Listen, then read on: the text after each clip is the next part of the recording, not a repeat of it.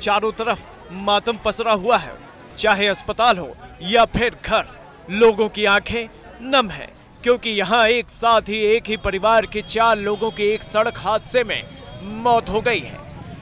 हादसा उस वक्त हुआ जब रेत भरा एक ट्रक अचानक पलट गया। इस हादसे में सड़क किनारे सो रहे एक परिवार के पाँच लोग दब गए। हालाँकि स्थानीय लोगों ने एक बच्ची को बचा लिया, लेकिन उस बच्ची की हालत भी गंभीर है। का पैगाम था ट्रक जा रहा था। एक फैमिली सो रही थी बढ़िया लोग उनके ऊपर पूरा ट्रक पलट गया वो। एक फैमिली के चारों खत्म हो गए सिर्फ़ एक बच्ची बची है।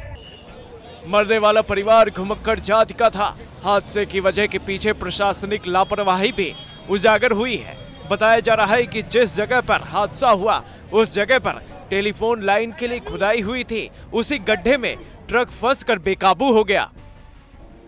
पलटने की बजाय वहाँ पर जो केबल बिछाई जा रही थी सड़क के किनारे करीब पाँच फीट गहरी गड्ढे से वो केबल निकली उस केबल के गड्ढे में प्रॉपरली फिलिंग नहीं थी और जैसे ही ट्रक का पहिया उस फिलिंग के ऊपर आया तो फिलिंग धसक गई और धसकने से इसका बैलेंस बिगड़ा है और ट्रक पलटा है।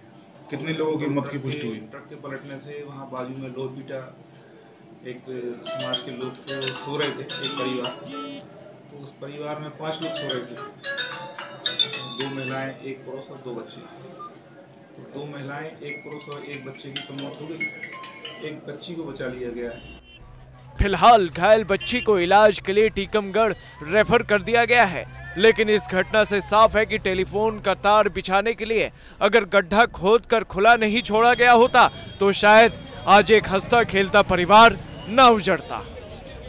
टीकमगढ़ से सुधीर कुमार जैन की रिपोर्ट।